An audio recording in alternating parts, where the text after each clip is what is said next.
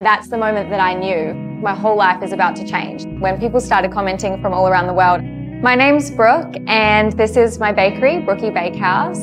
The hardest part of opening a new business in a new city where I didn't know anyone was getting the word out. So I started sharing these day in my life videos on TikTok and that's when we started shipping our cookies around Australia. I think the point of social media is to create a network around you. So sharing that content was really what started me connecting to other people, especially women around the world who maybe aspire to own their own business. It's gone from myself to now a team of 15 girls that in itself is just bonkers to me. One of my biggest aspirations is to be able to open Brooki pop-ups in different cities around the world. Since so much of our audience is global, I would really love to be able to take the experience to them. In the last six months, everything has completely changed because of TikTok.